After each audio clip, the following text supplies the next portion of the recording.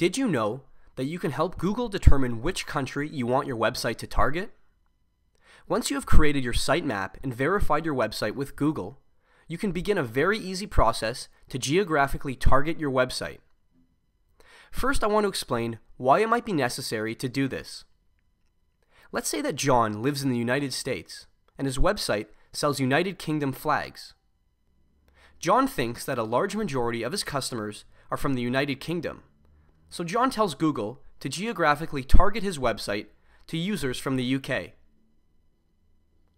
To set this up for your website, log into your Google Webmaster Tools account and click the plus sign beside Site Configuration. Next, click on Settings. Select the checkbox that says Target Users and then select the country you wish to target from the drop-down menu. Finally, click the Save button and you have just geographically targeted your website.